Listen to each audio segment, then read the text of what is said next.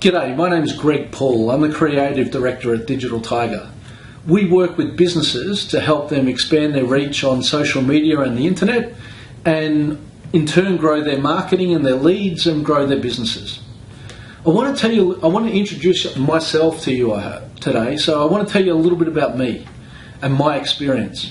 So I worked in retail for about 13 years. I was actually an, an umpire with the AFL in Melbourne and uh, started working in a sports store part time. And then I continued. I ended up in retail for 13 years. I planned the layout of two Myer stores in Melbourne.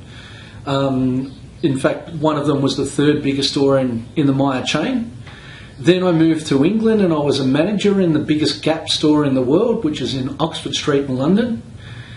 Then when I returned home to Melbourne, I actually was working with a friend's business and he had three staff at the time when I started. And I joined and I took over the sales and marketing of the business. And within 18 months, he had four offices in Australia and three other countries. And he hadn't invested any money into it.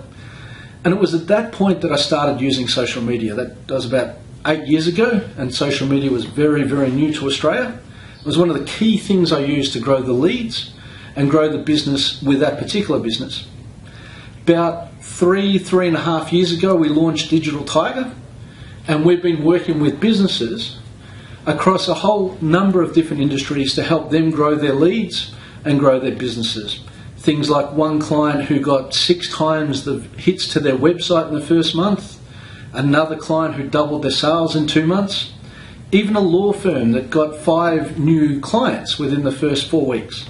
So we've worked with a number of different businesses from physiotherapists to an art gallery to um, an international human rights organisation. And um, I'd love to be able to talk to you and see how we can help your business. So thanks for listening, and I look forward to talking to you.